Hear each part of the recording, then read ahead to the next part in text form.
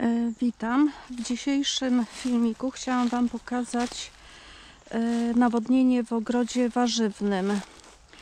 Czyli nawodnienie zaczyna się od źródła wody.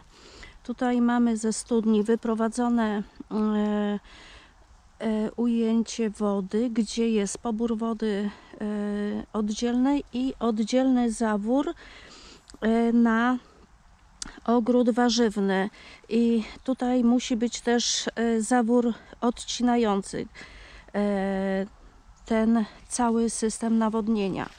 Rura niebieska atestowana biegnie w ziemi e, na głębokość dwóch szczychów. Ja mam ten ogród dość daleko, także sporo tego kopania miałam, no ale można e, wszystko.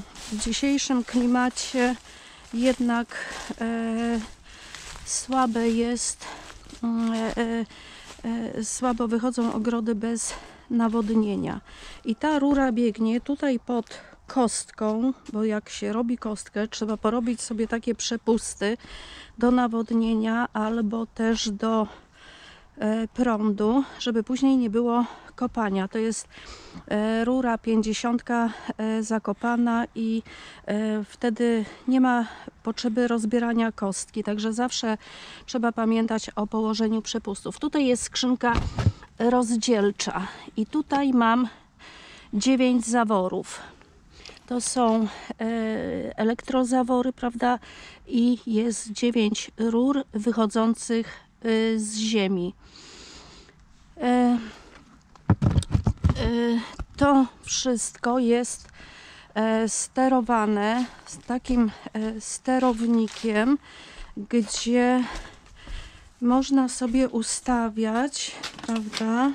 Tutaj jest ten sterownik Orbit, bardzo dobry y, sterownik, prosty w obsłudze, czyli e, tutaj ustawiamy sobie e, e, datę, e, godzinę, e, start sekcji, długość działania sekcji, dni tygodnia, bo można przez cały tydzień, można, do dyspozycji jest cały tydzień. I są, są programy A, B, C. Także tutaj jest e, pełna dowodno, dowolność. Ja tutaj e, wyłączyłam już na off, bo nie ma potrzeby e, nawadniania. I tak, ponieważ na tej samej linii mam krany w ogrodzie, bo one są też niezbędne, czyli tak jak tutaj mam ten kran, to tutaj ustawiłam sobie zawór odcinający. Tutaj ma, zagłębiłam już, bo on troszkę niżej wyszedł, że gdy jest awaria e, w skrzynce nawadniającej albo w drugim kranie, po prostu zakręcam i dalej e, mi ta woda leci e, w nawodnieniu czy w kolejnym kranie.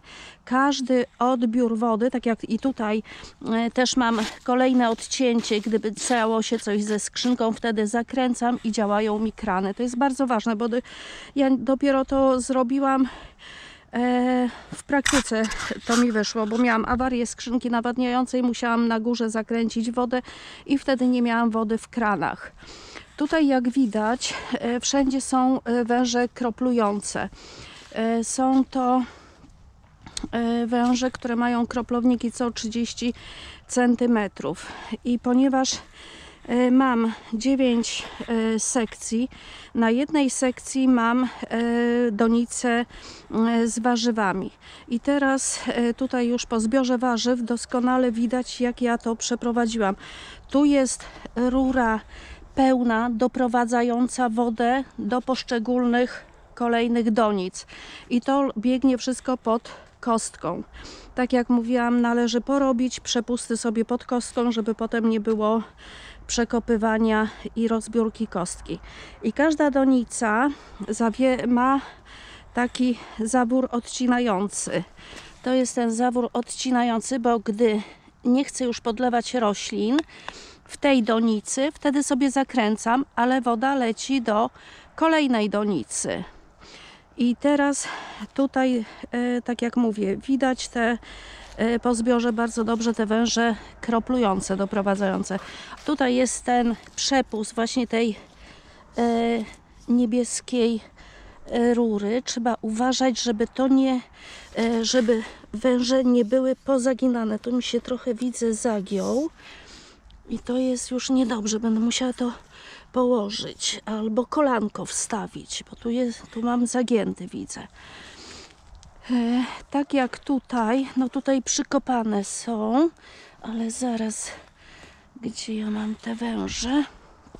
Pochowały się, ale to wystarczy podnieść do góry i wtedy widać e, po prostu e, wąż.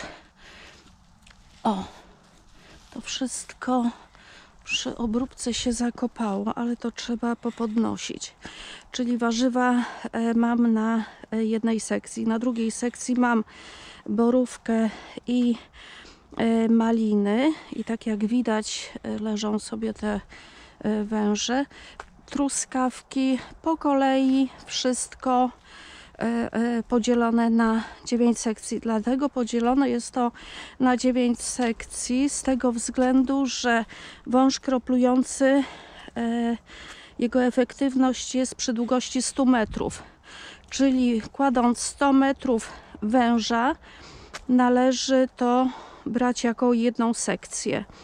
Tutaj, jak mamy potrzebę większego kroplowania, wtedy do węża wkłada się taki kroplownik, który kroplu... są różne te kroplowniki, ponieważ z takiej e, z takiego elementu kroplującego w ciągu godziny e, wypływa 2 litry wody, z tego może wypływać 4, 6 albo 8. To są różne kroplownik, można sobie dobrać.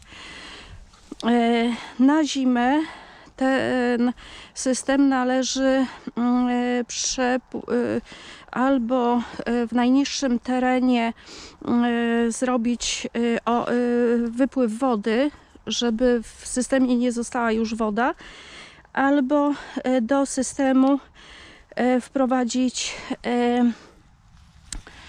wprowadzić sprężarkę z powietrzem i wtedy zamiast wody e, powinno wylecieć powietrze i wtedy jest cały system przepłukany. Tak jak mówię, tu wszystkie te e, donice, które mam, zawierają te e, zawory odcinające, bo niektóre e, grządki e, e, są już e, e, niepotrzebne jest podlewanie, wtedy się zakręca.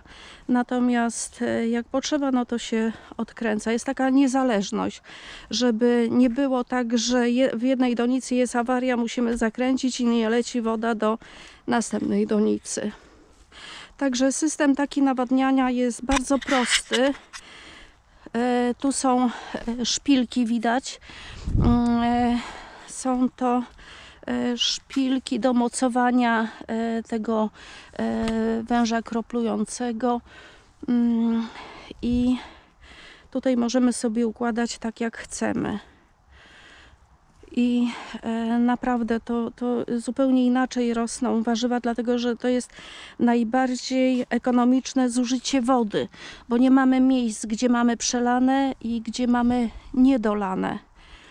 Mm, Ale to już trzeba robić. E, nawodnienie można zrobić w każdej chwili, ale e, ważne są te przepusty. No wiadomo, że można rozebrać kostkę. Zdarzają się takie przypadki, że trzeba rozbierać, no można to zrobić.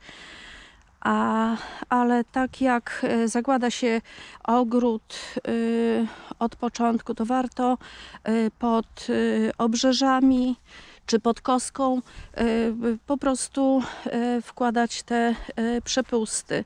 Są to rury takie, to, to mogą być różne rury. Ja tutaj mam pięćdziesiątki takie hydrauliczne, mm, bo wtedy można nawet dwie rury włożyć w taki jeden e, przepust.